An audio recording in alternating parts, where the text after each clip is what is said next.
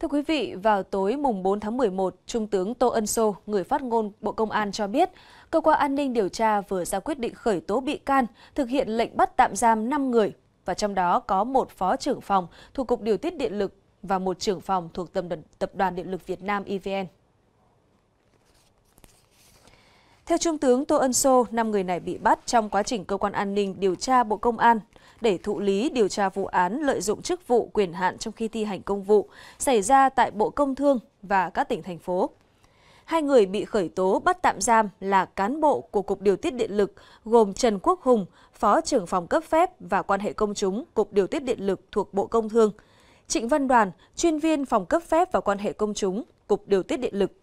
Ba người bị bắt là cán bộ của Tập đoàn Điện lực Việt Nam, gồm Nguyễn Hữu Khải là trưởng phòng kinh doanh mua điện công ty mua bán điện, Tập đoàn Điện lực Việt Nam.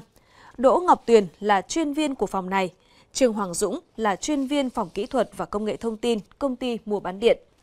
Cả năm người này đều bị điều tra về tội lợi dụng chức vụ quyền hạn trong khi thi hành công vụ.